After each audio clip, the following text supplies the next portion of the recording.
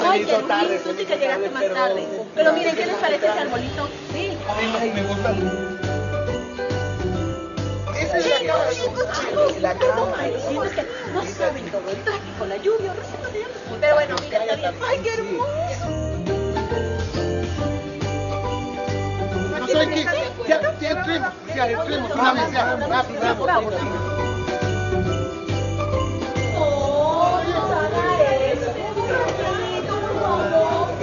¡Vamos! ¡Vamos! ¡Vamos! ¡Vamos! ¡Vamos!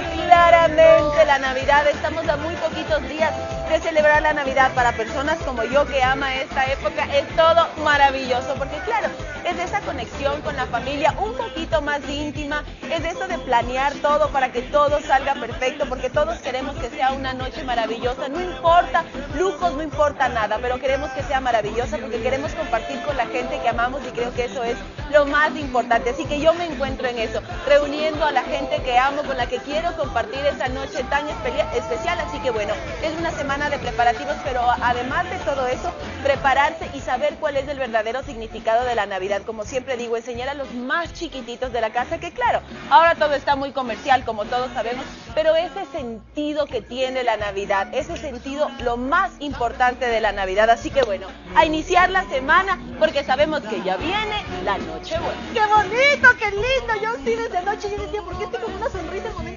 momento en el que toqué la almohada? Muy buenos días, mis mañaneros y mañaneros. Y es que dormí con la mejor de las virus que decía, es esto. Ya se acerca esa fecha que para la mayoría de nosotros nos encanta. Si usted es un poquito grinch, póngale tu arte. El mundo necesita de sonrisas, necesita de buen ánimo. Ese es el mejor regalo que usted le puede dar a todas las personas a su alrededor. Póngale buena vibra. No importa lo que esté pasando, no importa lo que esté atravesando. Yo dije que este año iba a hacer algunos cambios y los he logrado y recibí el mejor regalo que fue una llamada y me dijeron, sí, vamos a pasar la Navidad contigo, así que no hay mejor emoción que vivir y pasar en familia, señores. Así es, muy buenos días amigos mañaneros, ya falta poquito para la Navidad, pero yo me uno también a las palabras que decía la doctora Santiana, que la Navidad no solo se festeja un día, no solo es un día para juntarse con la familia y dar un regalo, lo que sea, hasta compartir el momento, uno puede vivir esa magia de la Navidad todos los días, podemos empezar hoy día, mañana, llame ahorita a su ser querido, mándele un mensaje de cariño, empiece bien la semana con todo ese amor y sobre todo, sobre todo, no se estrese, la, la ciudad también se pone caótica en estas fechas, usted siempre busque un plan B o algo que no le cambie el humor, que no le cambie esas ganas pues de festejar con los seres que usted ama. Aquí arrancamos mañaneros con esta emoción, mi querido gordito. Siempre hay un gris en el equipo. No, no, ¿Cómo les va? ¿Cómo les va? Póngale todo el ánimo del mundo, como dijo Martín Quintana, si es que el tráfico está insoportable. Trate de no salir. Eso es todo, trate O de no camine, salir. salga caminando, ve que ya que se puede No, hacer. porque el cambio, usted camina y la rancha, No, No, gordo, no, tenga cuidado. No den papaya a los malo. por favor, no. Recomendaciones de cuidarse en estas épocas. A los choros también quieren su Navidad. Eso no está bien, señores choros. La Navidad se hace trabajando, no robando.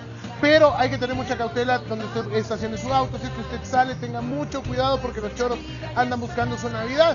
Póngale toda la atención del caso. Disfrute al máximo. Sea feliz con su familia.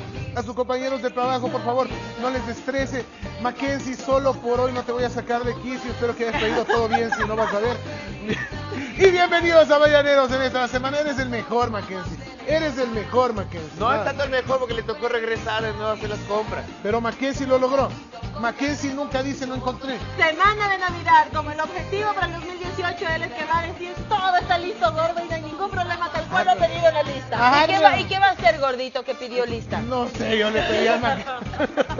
Hoy no A íbamos a, hacer arroz relleno. No, vamos a hacer un arrocito navideño ya, vamos a hacer el arroz con nueces y con la negra, que es muy fácil, sencillo, súper Ah, rico. con la negra, yo pensé, y con la negra. Yo, ay, Con la negra que va a venir a Negra, vas a bajar a cocinar, Oh. qué bonito. no le escucho, negri. Bonito en realidad el sueño de que me hagas el arroz. Un arroz navideño, pero del propio, no como lo que yo hago, ¿no? Ay, no, Ah. tú compras un chaulafán y crees que eso es un arroz navideño, El querubín. Un manicho ya llora de la emoción de que hay arroz. Tranquilo, manicho, por favor. Ya va a haber arroz. Tranquilo, gente. Muy bien, señoras y señores, 10 con 7 de la mañana. Gracias por su sintonía. Gracias por la confianza. Gracias por hacer de este programa eh, uno de los preferidos del Ecuador. Y por eso le vamos a decir con todo el ánimo del mundo. ¡Buenos días, Ecuador! Así es, feliz Navidad, porque ya falta muy poquito para celebrar este día tan especial. Pero antes yo quiero agradecer a nuestros auspiciantes. Gracias a ellos llegamos nosotros todos, todos los días hasta sus hogares. Nueva Pons Clarant B3, fórmula mejorada para una piel sin manchas. Muchísimas gracias y nosotros continuamos con más en cocina, porque llegó el momento de saber cómo se prepara ese delicioso arroz navideño. Y aquí estamos los expertos en preparar arroz navideño, por ¿Cómo le favor. decimos? No somos, no somos militares, somos árboles de Navidad. Pero somos enérgicos. Cuadradas son ustedes, chicos. A ver, a ver. Cuadradas.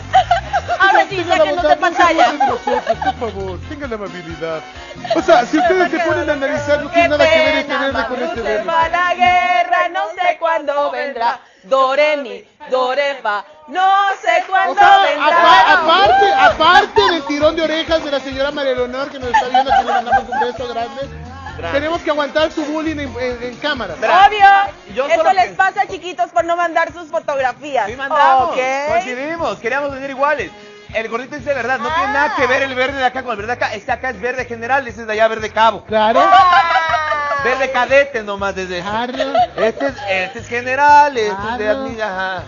Van por que- rangos ustedes, la elección de la asesoría de imagen. Claro. Así. Ya, ya somos algo. ya. Pero bueno, muy bien, cuéntenos, ¿cómo van a preparar nomás, este dando los ingredientes. ¿Qué ha de hacer, hermano? Claro que sí, gordito, vamos a hacer ese arroz navideño y el principal ingrediente, el arroz.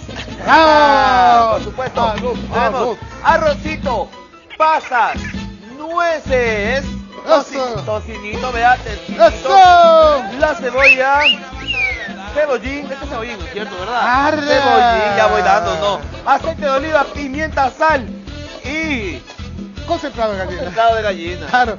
Imagínese usted una gallina concentrada, justo eso. Una gallina concentrada, sí.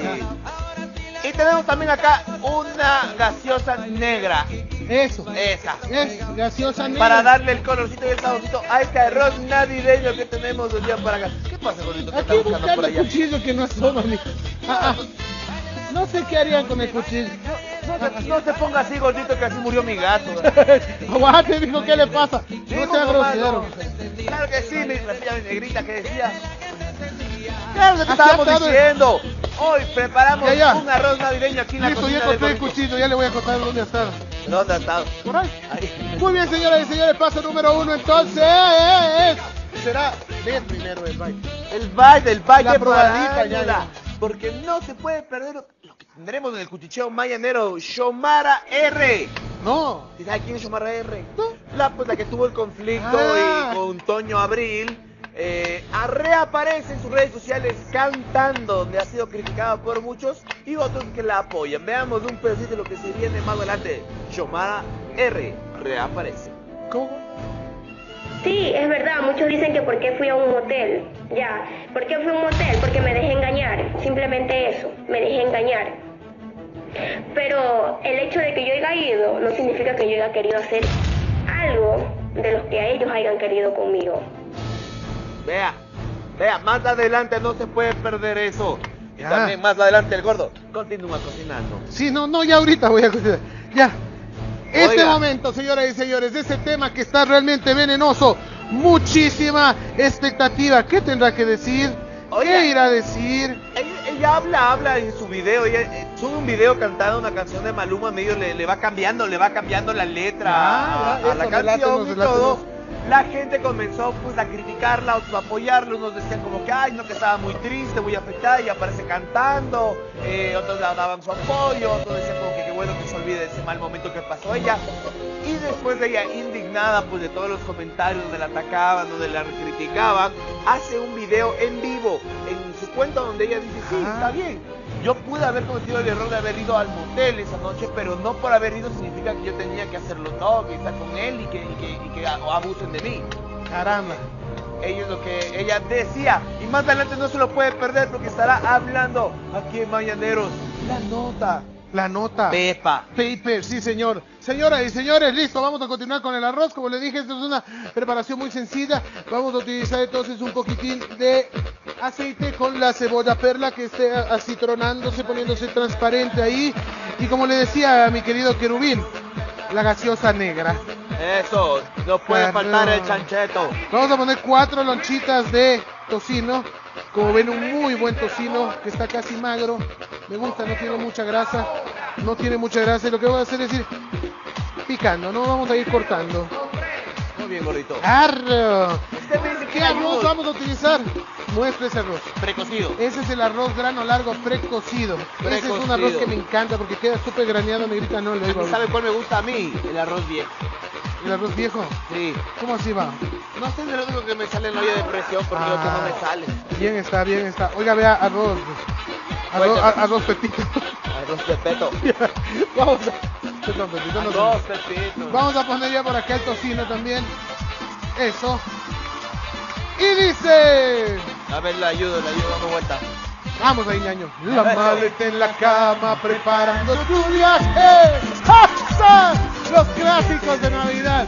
Ay, ay, ay, qué bonito, sí, señor. Usted se divierte. Usted está viendo mañanero. Listo. Cebolla y tocino.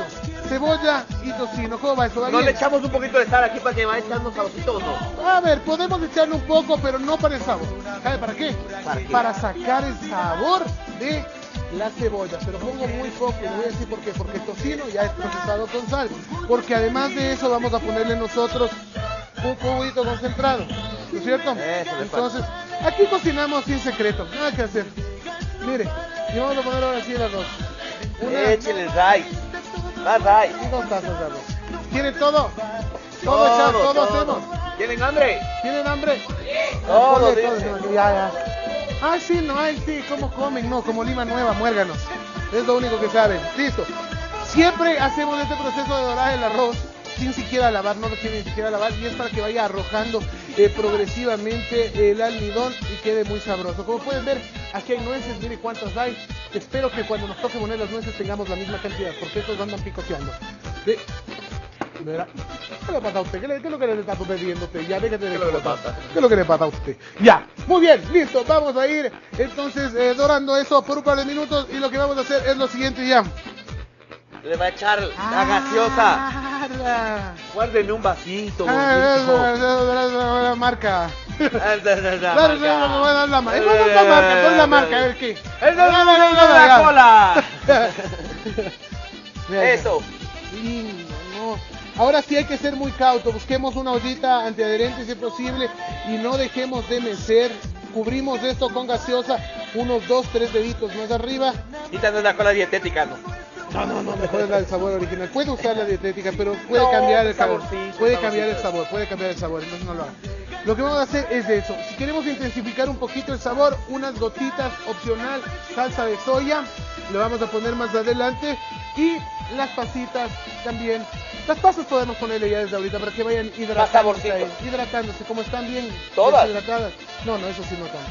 Es un puñadillo de pasas. Ahora sí puede comer Ahora pasas. sí se pueden acabar ya. Listo, dejamos, no dejamos de mezclar y que se vaya calentando poco a poco y que se vaya cocinando y evaporando. Lo único que resta entonces, sal, pimienta, las nueces y poner las gotitas de salsa de soya que es opcional a su gusto, pero que a mí sí me gusta cómo queda. ¿Ok? ¡Listo! ¿Salsa Una. inglesa se le puede poner también aquí no? Sí, sí, sí, no hay problema, no, hay problema, no hay A problema. ver, ¿qué es lo que hicimos desde el inicio? Pícale la punta. Recapitulemos. por favor, présteme atención. En este momento le voy a decir a usted con todos los detalles. Pusimos nosotros cuatro lonchas de tocino, media cebolla, dos cucharadas de aceite. Adicionamos dos y media tazas de arroz, dos y media tazas de arroz. Empezamos a dorar y luego pusimos un puñado de pastas. No hay problema, la cantidad que a usted le guste. Por favor, tenga la bondad. Y luego le pusimos la cola negra hasta que cobra. Y ahí vamos a ir, dejando que se cocine. Y listo. Y eso es todo. Ya. Sí. Más adelante y al final se le ponen las nueces y el cebollín. La decoración. Claro, Muy bien, gordito, muy la fácil y sencillo preparar Voy a buscar este la salsa. arroz navideño. ¿Dónde va? A buscar la salsa. A buscar la salsa. Aquí digo Y la salsa, pero no le voy a mostrar la marca. Seguimos cocinando este arroz navideño en la cocina del gordo. Ya, ya. Mientras tanto, ay, ay, ay. No puedo abrir, la ayudo. Es que ya estoy un poco manquillo. Perfecto. Espere, espere. Vamos con mi querida Belitas. Acá estoy, ya Ya está la salsa. Qué rico que huele, gordo, qué rico, pero aparte de ese delicioso aroma que ya tenemos de tu preparación, tenemos una maravillosa compañía ya en esta mañana, como todos los lunes, mi doc Santiana, qué gusto, bienvenida. Muchas gracias y buenos días con todos. Para mí realmente es un gusto poder compartir con todos quienes nos escuchan. Mi doc, y compartimos este que es en el calendario el último lunes oficial del 2018 y para eso usted, para el 2017, perdón, y para eso usted nos tiene una frase maravillosa para iniciar esta semana. Exactamente. Y la frase dice así, debemos disfrutar de lo que somos ahora y dejar de lamentarnos de lo que no ha podido ser. Mira, esta es la única vida que tenemos. Esta vida es para estar bien, es para darle poder a lo positivo. Muchas veces nos acostumbramos a pensar que si yo sufro es que me preocupa el mundo, es que yo les quiero más, es que soy mejor persona, es que van a pensar que yo realmente doy lo mejor de mí para que el mundo esté mejor. Y no es así. El que quiere ser sufridora es sufridora y punto. Si esta es la única vida que tenemos, aprovechémosla para estar bien. Nosotros tenemos siempre, siempre, siempre que valorar todo lo que somos, lo que tenemos, pero no en dinero, lo que la vida nos ha dado, todo lo que logramos hacer, entendiendo que no somos lo que hacemos. Porque si en algún momento dejamos de hacer, no es que dejamos de ser buenas personas, no somos simplemente lo que tenemos. Porque a veces tenemos y a veces no tenemos, pero igual somos personas valiosas. Y así es que tenemos que vernos. Si esta vida es para disfrutar, demos lo mejor de cada uno. No solamente en estas fechas que son de amor, de armonía, todo un siempre. Valoremos lo importante que es estar bien en nuestra propia vida.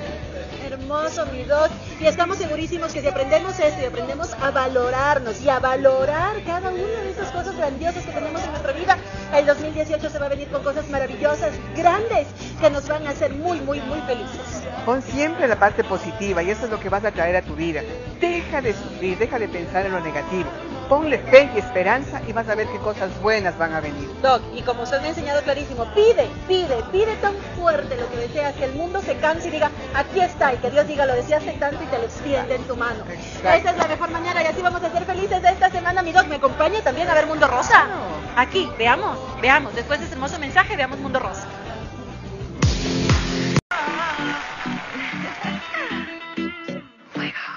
Dímelo,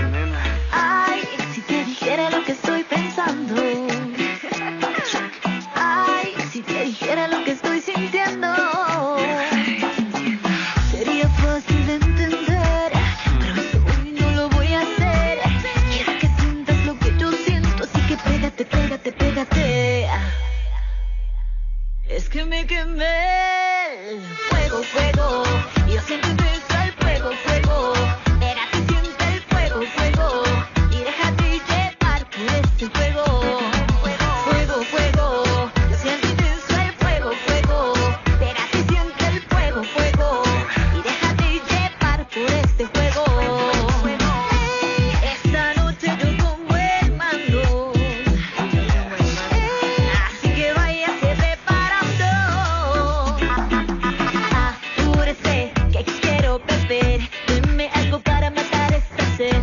Y dejemos que esta vez la música nos diga qué vamos a hacer. Ella es así, latina felina, en la intimidad, la que te domina.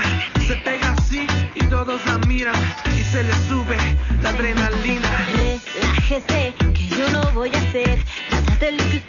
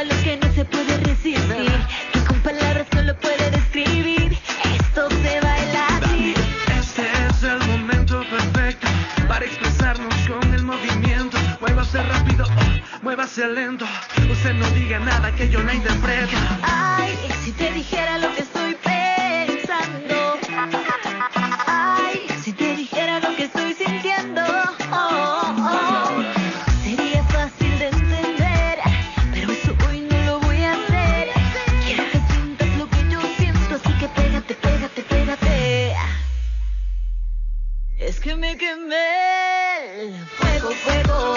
Y yo siento el fuego, fuego.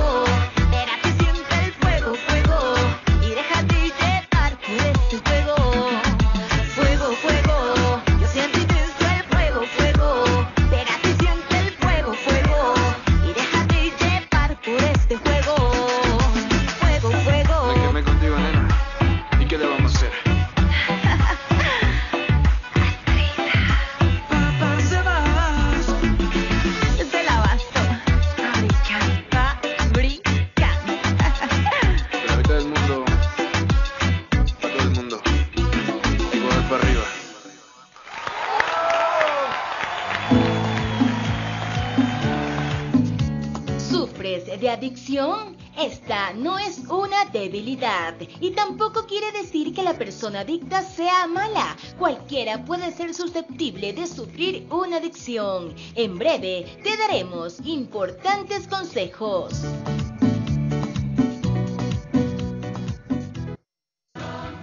El acto jurídico mediante el cual se crea un vínculo de parentesco entre una o dos personas de tal forma que establece entre ellas una relación de paternidad o maternidad. Hace mucho tiempo la adopción se veía como un acto de caridad. Hoy en día la adopción es una solución para que los menores puedan volver a tener una familia y las parejas o personas solicitantes puedan vivir y disfrutar la experiencia de tener un hijo. Antes de adoptar, tiene que haber un proceso de reflexión, dejando un poco de tiempo transcurrir, pues no es solo una cuestión de cariño. Además, dada la función de protección del menor a que responde, se asumen las obligaciones de cuidar al adoptado, procurando en todo momento el interés superior del menor. Las legislaciones establecen unos requisitos mínimos para poder adoptar, entre los cuales son comunes. Una edad mínima del adoptante que suele superar la de la mayoría de edad y en ocasiones una edad máxima. Plena capacidad de ejercicio de los derechos civiles. No ser tutor en ejercicio del adoptado. La adopción reviste tres tipos, plena, simple e integrativa. La adopción plena surte los mismos efectos que la filiación por naturaleza y generalmente el adoptante tiene que reunir unos requisitos más exigentes que la adopción simple, donde no existe sustitución automática de apellidos ni el hijo adoptado ocupa un lugar similar en el orden de sucesión testamentaria con los hijos naturales. Esta división encuentra sus orígenes en la adopción romana. En el Imperio Romano existían el adrogagitio y el adoptio. La última, a su vez, es subdividida en adoptio plena y minus plena. En la plena se daba la cesión de la patria potestad, en la minus plena se formaba un vínculo entre adoptante y adoptado que podía, pues no era forzoso, generar derechos de sucesión. En todo caso, quedando claro, tómelo como una alternativa que puede traer mucha felicidad a su vida. Para Mañaneros, Alejandra Vélez. La adopción estaremos tratando desde el punto de vista psicológico, desde el punto de vista legal. Bienvenida, doctora Alexandra Santiana, nuevamente. Abogado Luis Valladares. Arranquemos por la parte psicológica, mi bella doctora. ¿Qué pasa con estas parejas entonces? ¿Qué, ¿A qué han llegado? Debe ser, eh, no debe ser tan fácil llegar al consenso de adoptar. ¿Qué es lo que sucede cuando ya deciden adoptar? ¿Qué ha sucedido antes de esa decisión? Mire, muchas veces las parejas tienen un duelo porque no pudieron concebir biológicamente. Entonces se, se genera la ilusión de qué es lo que yo quisiera. Y viene la idea de un hijo ideal. Entonces ellos piensan que porque están pensando en adoptar a un niño, viene el niño chiquito, lindo, obediente, que no pasa nada, que va a hacer todo lo que ellos quieren, ya le están poniendo pinchitas a la guagua, ya le están poniendo cochecito al niño. Están viendo la situación de una forma muy ide- idealista. La realidad es otra. A mí me parece hermoso un padre de corazón, porque el padre biológico le toca, el padre de corazón elige, y ese es amor del bueno. Entonces, pensar que simplemente por la idea que ellos tienen todo va a funcionar bien, no es así. Como bien decía en el reportaje, uno tiene que tener bien clara cuál es la situación, porque son niños que seguramente vinieron de una casa hogar en el que las cosas no van a ser tan fáciles.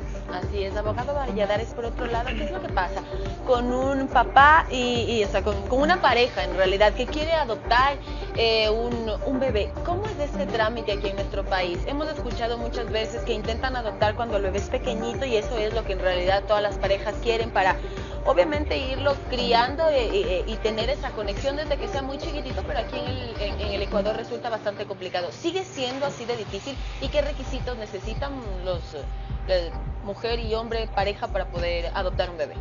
Bueno, eh, lo que debemos de informar siempre legalmente es que existen un sinnúmero de requisitos. En la ley y en el Código de la Niñez y Adolescencia establece una fase administrativa y una fase judicial. La fase administrativa tendrá que preceder a la judicial, dentro de la cual se tendrán que verificar y establecer como idóneos a los adoptantes. Es decir, en lo cual tiene que sumar y completar un sinnúmero de requisitos. Por ejemplo, eh, estar plenamente en ejercicio de sus facultades físicas, psicológicas, tener una factibilidad económica para que pueda brindar a ese niño, niño adolescente que va a ser adoptado eh, una vida, una vida buena, una buena, una vida permanente, sabiendo que el objetivo o el objeto de la adopción es garantizar una familia definitiva, permanente, al niño, niño o adolescente que esté en la aptitud legal, en la aptitud social para ser adoptado. ¿Qué quiero inferir? Esta fase administrativa está a cargo de unos organismos técnicos eh, adscritos al MIES, en los cuales se evaluará, se harán trabajos psicológicos, sociológicos, económicos, para determinar si los adoptantes, si esta pareja, en caso de ser, porque siempre se prefiere a una pareja heterosexual, si marido-mujer o con unión, eh, unión libre, unión de hecho, a una persona sola con ciertos requisitos desde el ejercicio de los derechos eh, políticos, civiles, hasta que no tenga eh, antecedentes por algún delito de reclusión. Es decir, es un sinnúmero de requisitos que tienen que ir cumpliendo y que se van encasillando en las investigaciones que realizará estos organismos administrativos. Y sí, también tengo que decir que muchas veces estos trámites son bastante engorrosos. Tengo recién, a ver, hace 15 días me visitó una pareja que vino de Suiza y me informaba que lastimosamente ellos habían preferido venir acá para realizar el proceso de la adopción, porque lastimosamente allá, uno, es carísimo el realizar este proceso y a, que es bastante largo y habían tenido gente que ellos conocían, eh, debo de manifestar que es un migrante ecuatoriano que vino para poder eh, realizar la adopción de un familiar, de un sobrino de él, ¿sí? Por cuanto los padres habían fallecido y me decía que lastimosamente existen aún muchas trabas que nosotros tenemos que ir eliminando para que esto sea efectivo la adopción. Milor Santiana, tal cual usted decía, esto es una acción de corazón. Sin embargo, el hecho de que este proceso sea tan engorroso y tan largo, muchas veces genera desesperación en los adoptantes. ¿Cómo se puede mantener firme la decisión frente a un proceso que no resulta nada sencillo? Mira, yo muchas veces escucho quejas en contra del MIES. Yo pienso que ellos más bien hacen un trabajo formidable, porque son hombres y mujeres que se dedican por completo a este tema que es proteger a un niño que necesita encontrar una familia pero adecuada. Entonces no es cuestión simplemente de decir aquí hay una familia y aquí hay un niño, ya pueden estar juntos. No, tenemos que ver primero toda la parte legal del niño que pueda ser superada para que los padres no puedan reclamar después a, a sus padres de corazón. Tenemos que ver, como bien decían acá, familias que entiendan que es un proceso. No es un regalo, no es un supermercado que dice yo quiero este niño, no. Primero no se puede elegir. Los niños vienen como llegan y, y nos llegan como, como están.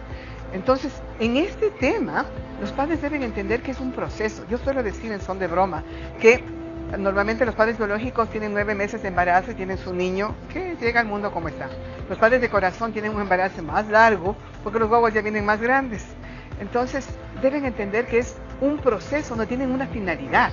La verdad es que deben, eh, no, no es que probar, sino que deben asumir lo que eso significa y psicológicamente deben estar preparados.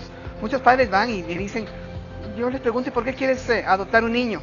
Es que pobrecitos, están solitos. Yo, ¿cuál pobrecito? ¿Cómo puedes tener pena de tu propio hijo? Si un hijo de corazón es exactamente lo mismo que un hijo biológico, entonces no lo puedes manejar de esa manera. O es, que yo le quiero ayudar porque sé que no hay quien le pueda apoyar. No, no, no puedes verlo de esa manera. Cuando tú tienes un hijo, tienes la ilusión de llenar tu familia. Entonces, este proceso involucra no solamente el deseo de que la vida se complemente, porque no es el ayudar a un niño, ese niño va a bendecir ese hogar, ese niño va a complementar esa familia. Entonces, si realmente están conscientes de lo que implica, ellos van a tener todo el tiempo y la preparación y, y- y poner lo mejor de cada uno, porque es todo, tienen que hacer reuniones de familia, tienen que hacer muchas cosas. Cuando ellos están realmente deseosos y conscientes y claros de lo que esto implica, lo logran. Las personas que simplemente lo quieren hacer porque esto es lo que me falta, obviamente se decepcionan y hasta ahí llega el proceso. Hay que hacer ese análisis antes, ¿ah? ese análisis previo es importantísimo si usted quiere tomar esta decisión. Una decisión de vida que afecta a muchas vidas, a la suya, a la de su pareja, a la del menor o la menor. Así es que hemos eh, preparado otra nota que habla de algunas de las alternativas que se pueden presentar con respecto a este tema. Veamos.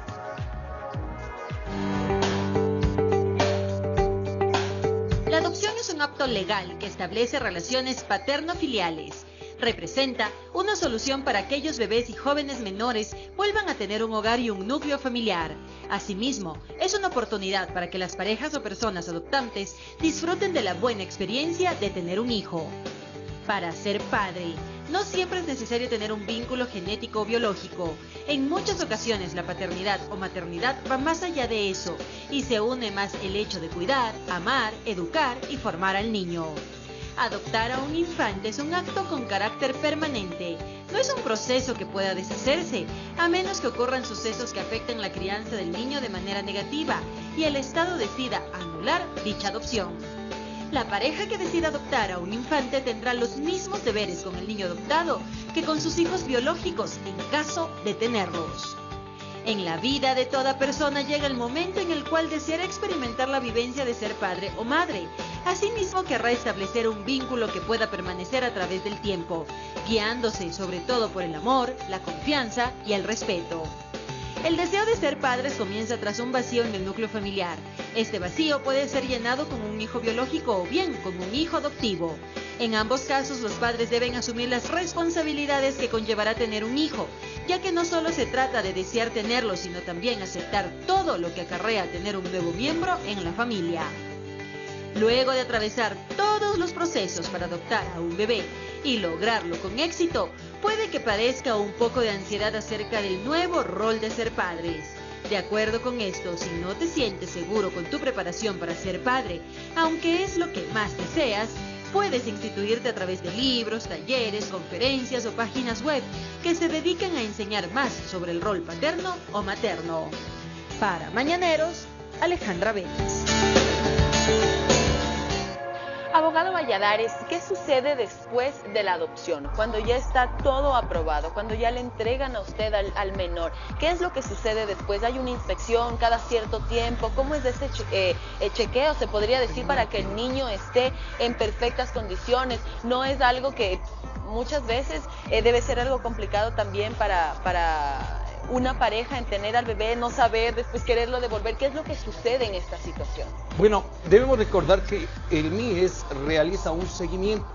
Posterior a que se eh, efectúa, se perfecciona la adopción, el MIES por lo general son dos años posteriores que está en seguimientos continuos, permanentes, para verificar la condición del menor, las circunstancias de cómo se van desarrollando y si existen inconvenientes. Lo que sí desde ya podemos eh, manifestar, bueno, desde eh, mi punto de vista, eh, como director de una firma legal de abogados, lastimosamente he tenido problemas en cuanto hay ciertas personas que han adoptado menores, sí, como pareja, como pareja, como marido mujer, o como pareja de unión de hecho. Lastimosamente, digamos, cuatro años, cinco años y, y se divorcian. Y he tenido el inconveniente lastimoso que entre padre y madres, entre estos ex cónyuges, se botan la pelotita y no han querido hacerse no. responsables del menor, alegando que lastimosamente e- e- es adoptado, o sea, dándole una calidad bastante diferente, en lo cual yo podría decir de manera técnica que ahí van los elementos y, y el escogitamiento que tiene que hacerse por parte de eh, estas, eh, ¿cómo se llama? Eh, el MIES a través de su asignación y la respuesta, ¿por qué muchas veces demora? Para que no suceda esto. Sabiendo entender que el Estado ecuatoriano tiene que garantizar una familia, preferir la biológica a cualquier otra, pero la verdad, yo pienso que es una manifestación expresa de amor, de sentimiento, es una característica fundamental como humanidad el hecho de adoptar a un ser humano. Nos reconoce como ser humanos. No hay nada, doctor, que diga usted responde o, se va a la cárcel o yo no sé. o- Obligatoriamente, ya tienen asumidos los derechos, los roles como padres. No es que ahora no es como un animal, discúlpeme. Exacto. Ni a un animal un podemos llegar a eso. A para el día de mañana querer renunciar. Por eso muchas veces hasta hay trabas en cuanto a la impugnación de paternidad y más aún en cuanto a la adopción, porque ya se generó todos los derechos, obligaciones, responsabilidades en cuanto al vínculo parental. Por eso muchas veces la recomendación legal va a ser que se informen bastante bien las obligaciones que se adquieren con la adopción, porque un niño que está adoptado es como un hijo que ha nacido de nuestras entrañas y nos corresponde un sinnúmero de obligaciones legales. Así es. Muchísimas gracias, Doc. Doc Santiana, ¿es sano, aconsejable y de ser así, a qué edad se le debe decir al pequeño que es adoptado? Absolutamente, eso no es negociable. Yo tengo muchos padres que sin haber, o sea, normalmente se casaron, es hijo biológico de la esposa y él adopta. Y muchas veces cometen el gravísimo error de decir, no, yo no le quiero hacer ese daño, yo me callo, cuando sea adulto capaz que le cuento. No, miren, en esta vida tarde o temprano todo se llega a saber. Entonces, esto deben saber, se recomienda que máximo hasta los 5 años se debe conversar con los chicos. Hay un proceso terapéutico que es bastante efectivo. Eh, en el tema de adopciones, el niño siempre tiene que saber su historia biológica, siempre, porque hay que respetar su identidad. Eso no es negociable. Una cosa que yo también pido a los padres es que cuando ellos adoptan un niño, jamás le pongan ese apellido, porque muchas veces van y dicen, Pepito, él es mi hijo adoptado. Digo, a ver, van a, la- a- a- a visitar a la tía, Pepito, él es mi hijo adoptado. No, no le pongas eso, porque le estás dando ya un estigma que no puede manejarse de esa manera. Nunca. Es mi hijo de corazón y a mucho orgullo. Es mi hijo. Es mi hijo. Punto. No tienes por qué dar explicaciones.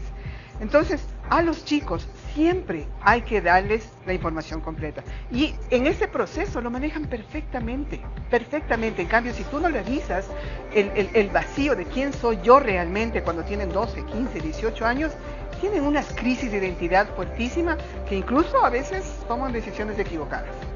Perfecto, a continuación nosotros vamos a ver una nota del lado psicológico de la adopción. Muchísimas gracias por estar aquí, a nuestros panelistas siempre son un aporte tan importante para nosotros y para todos nuestros televidentes. Veamos.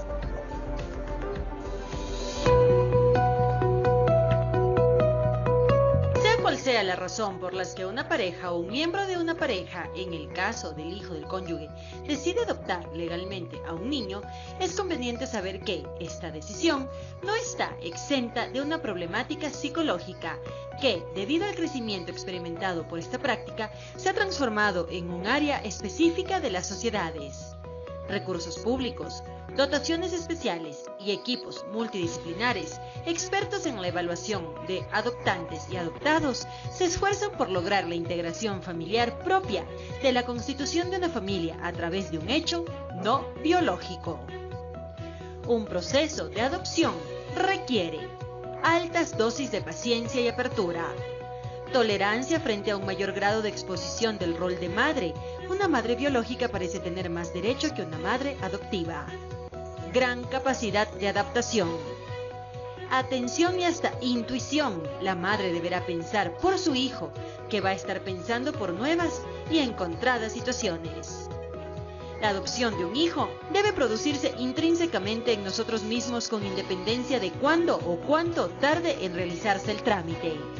Cuando la adopción se lleva a cabo desde el corazón hacia los documentos y no al revés, la inercia del amor será capaz de salvar las barreras que se presenten. Para Mañaneros, Alejandra Vélez. Al aire. Coronel. Dígame, Cabito. Reportando aquí que el arroz ya se encuentra casi a punto caramelo. Listo para la guerra. Listo para la guerra. Eso, cuádrese. Muy bien, gordito. Aquí está mi coronel. Listo, perfecto. Listo, mi coronel. Hagan hacer de probar. Vea, mi coronel, una, tengo una pequeña duda. Cuéntemelo. ¿Dónde qué hicieron con las, qué hicieron con las nueces cruzcadas? Ah, yo las escondí. ¿Ah, en serio? Sí, sí, sí. Qué bueno, porque cómo come esta madre. Para que vea. Vea lo que quedó. Su general, un paso adelante. De lo que era, muy bien, mi general. Esa es la manera. Vamos ahora sí, miren ustedes cómo queda esto, ¿no? Queda hermoso. Queda ligeramente meloso. ¿Y por qué queda meloso? Por el La azúcar que tiene la cola negra.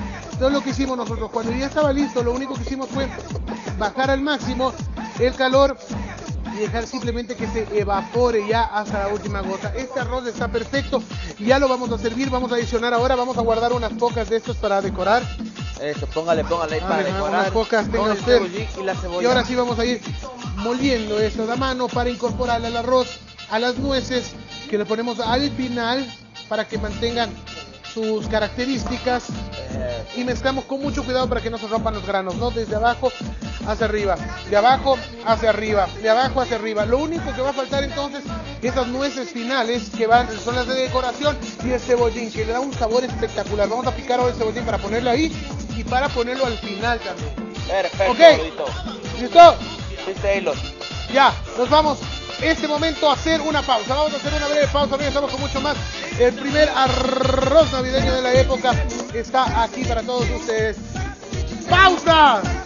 ¡Y volvemos! ¡Eso!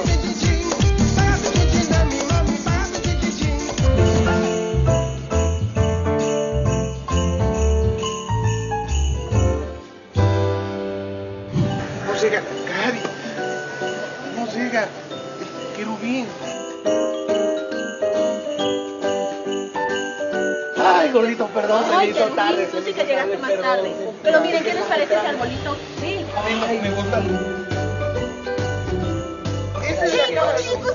La no, saben todo el tráfico, la lluvia, sé, pero bueno, mira, está bien. Ay, qué hermoso. No saben qué.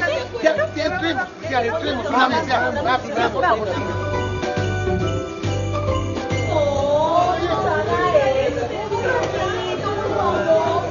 ¡Vamos!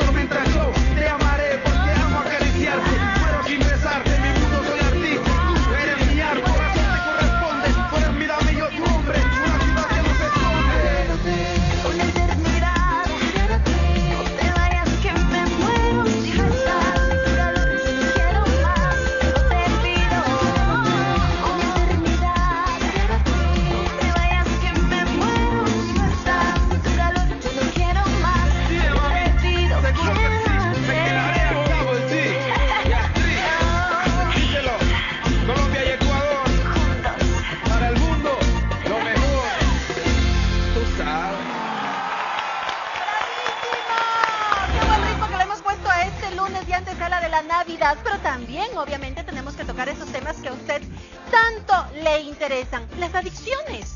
¿A qué nos podemos volver adicto y cómo lo podemos tratar? Preste atención a la siguiente nota.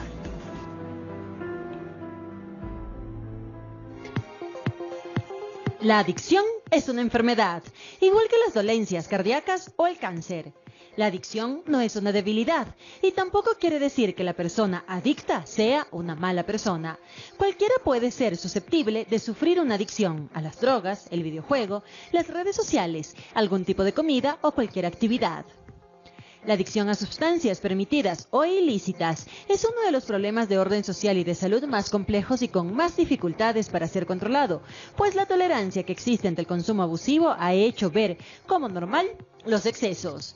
Las drogas estimulan las partes del cerebro que te hacen sentir bien, pero después de consumir la droga durante un tiempo, esas partes del cerebro se acostumbran. Entonces hace falta consumir más cantidad de droga para tener la misma sensación de placer. Pronto, el cuerpo y el cerebro necesitan de la droga nada más para sentirse normales o sentirse bien. Sin la droga, te sientes mal y hasta enfermo.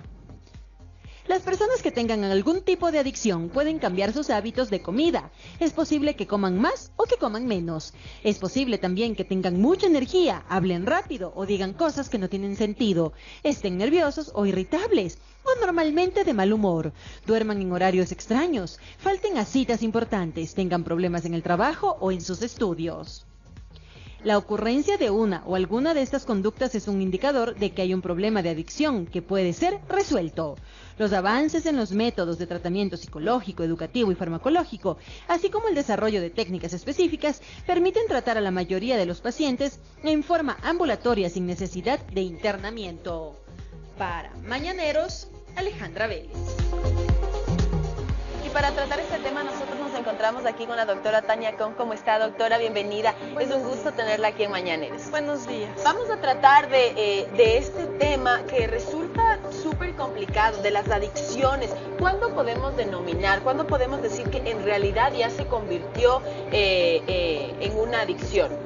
Bueno, la adicción es cuando una persona es dependiente de una sustancia y esta ya afecta el sistema nervioso central y esto hace que tenga cambios conductuales y comportamentales y la esfera física, social, biológica, eh, en, en etapa de su vida con su familia escolar, en el trabajo se ven afectadas. Ahí es una adicción. ¿Y qué tipo? Bueno, hablamos también de hay unas adicciones psicológicas que pueden tener las personas como son adictas a las compras, adictas a un videojuego, adictos al celular y todo. ¿Podría llamarse eso adicción? ¿Y cuáles son los síntomas como para percibir que una persona está siendo adicta con algo, con algo específico?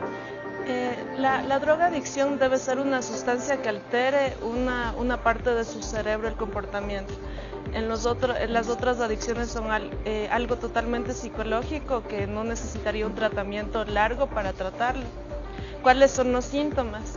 Los síntomas varían de- del tipo de sustancia que está consumiendo. Hay eh, sustancias que son depresoras del sistema nervioso central que van a, eh, van a producir en las personas un estado de relajación, sueño. Hay estimulantes del sistema nervioso central que estos van a, a provocar euforia. Eh, hay otras sustancias que son psicodélicas que van a provocar alucinaciones, pero todo esto va a alterar la esfera psíquica de una persona. ¿Qué sucede ya, doctora, cuando, eh, bueno, si hablamos de las drogas y el alcohol, que son eh, unas, eh, que son adicciones de las que estamos eh, todo el tiempo escuchando? ¿Qué sucede cuando ya eh, una persona es adicto o a las drogas o al alcohol? ¿Siempre necesita ayuda para poder salir? ¿O dice, no, ya, desde el día de mañana yo ya no voy a beber y no bebe? Esto no sucede. Siempre necesita tratamiento porque la drogadicción ya es una enfermedad y la enfermedad debe ser tratada. Y para que nosotros dejemos de consumir no es solo algo de decirlo. De decisión. De decisión. Debemos eh, hacer un tratamiento que es un poco largo, primero de desintoxicación, luego deshabituación y luego el mantenimiento, que es a largo plazo. Y ese periodo como cuando se van desintoxicando, eh, pasan con mucha abstinencia los, los síntomas, ¿cuáles pueden ser esos síntomas? Porque es muy duro, o sea, cuando se están dejando una adicción, pasan, sudan, la pasan mal, se sienten nerviosos, todo. ¿Cómo poder calmar eso y cuáles son los síntomas que tiene pues una persona que está dejando una adicción?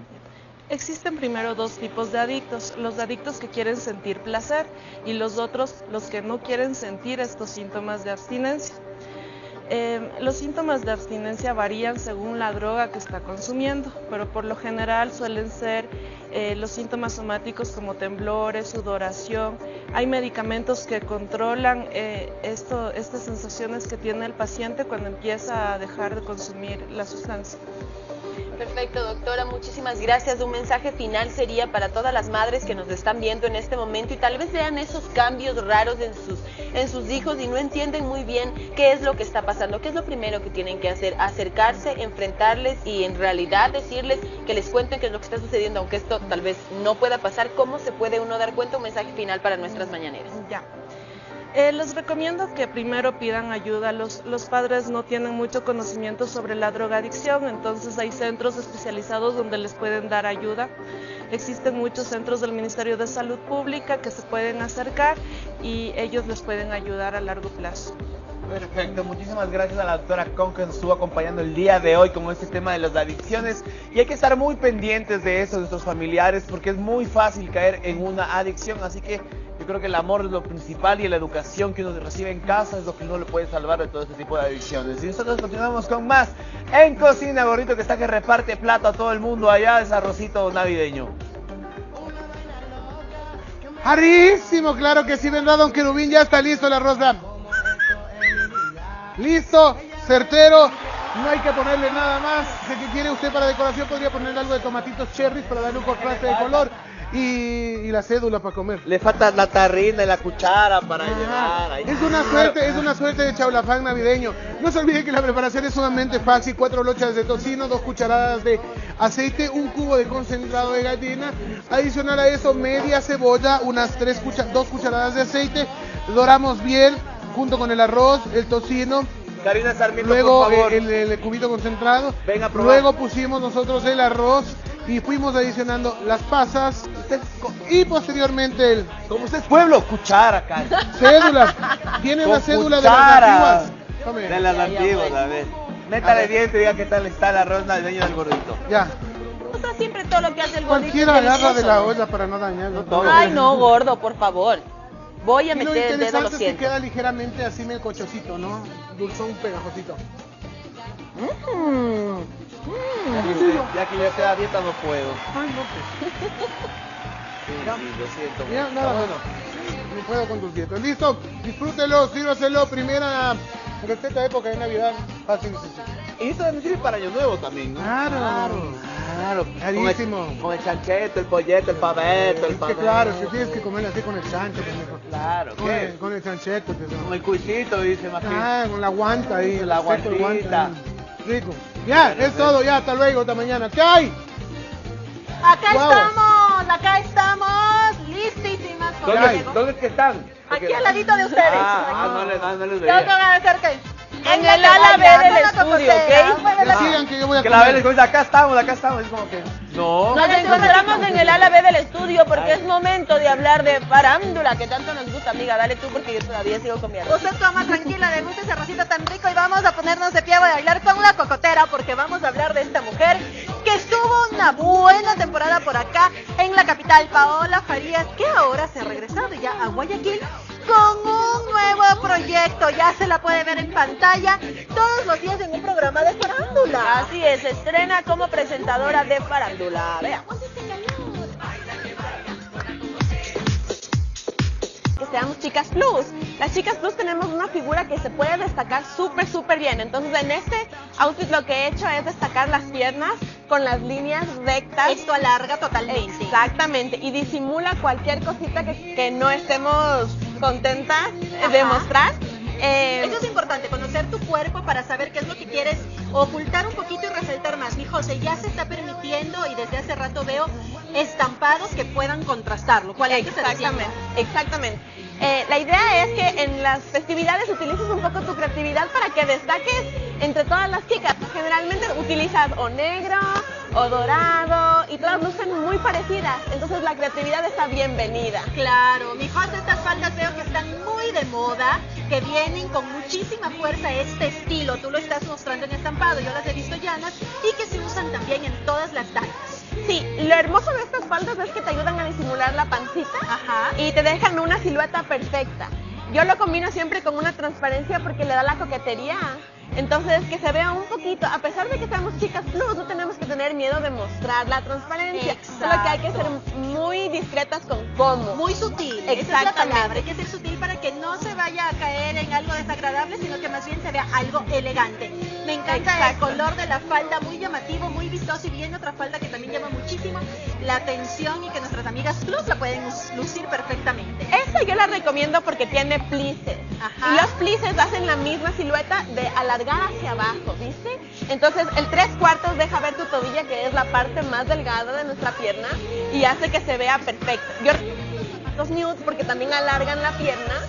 Y siempre yo les recomiendo a las chicas plus que le pongan extra, extra, o sea, como toquen los accesorios. Y ahí hay que decir algo también, mi José, no, ahí sí, siempre dicen, es que eres plus, usa los más pequeños o más grandes, no tengan miedo, los accesorios que usted quiera llevar siempre y cuando los luzca con seguridad. Exactamente. Perfecto, y aquí viene nuestra siguiente modelo, que la falda ya es más larga, mi José. Exacto. Esta falda es increíble porque queda a todo tipo de cuerpo. Aparte que el modelo que nosotros hemos hecho no tiene talla, entonces lo puede usar una mujer delgada como una mujer plus. Perfecto, Y como. Exacto. Como tú sabes, a veces estamos plus, a veces no. Así Depende de la vida. Entonces, esta hermosa modelo nos muestra esta falda y yo los combino a veces con kimonos también, porque el kimono ay- ayuda a estilizar. El kimono es una pieza indispensable en el armario de toda mujer, sobre todo en el armario de una mujer plus, porque lo puedes usar con short, con vestido, con jeans, con lo que tú quieras. Sí, exactamente. Perfecto, mi José. Hermosas los modelos con tus diseños, con cada una de tus recomendaciones. El consejo final para todas nuestras mañaneras, talla plus para estas fiestas que quieran lucir hermosas. Mi consejo es siempre ser creativas, o sea, realmente ser creativas y, y vestirse con su personalidad, querer decir algo con su outfit, porque eso realmente te hace destacar y ser quien eres. Y eso es lo más hermoso que podemos mostrar. Perfecto, mi José. Muchísimas gracias a Josefina que estuvo con nosotros y que nos ha ayudado a que usted tenga estas opciones espectaculares para las fiestas. Y es que usted es una mujer talla plus. Gracias, mi José, chicos. Gracias a ti. Así es. Continuamos con más del cuchicheo mañanero. Y tenemos una nota muy chévere. El pollito Brian Tu amigo. y Tete Ronquillo. Tus amigos. Mis amigos. Sí, son tus amiguis, son tus amiguis. Cumplieron un año de un feliz matrimonio y lo celebraron a lo grande. Aniversario.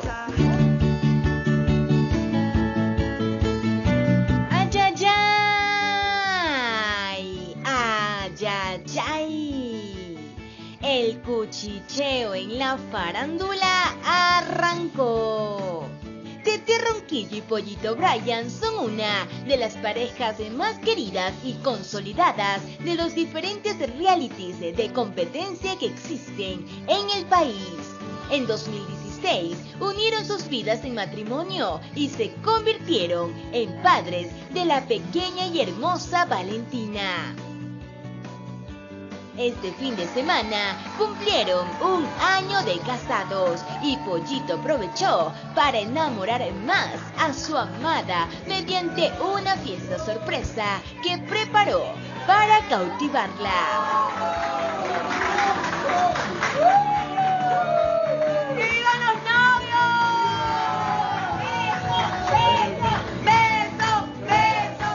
Una pequeña sorpresa para mi amor eterno, una mezcla de muchos sentimientos, nervios, pero al final salió todo bien. No soy un hombre tan detallista, pero por ti soy capaz de todo. Te amo, que vengan muchos años de más a tu lado.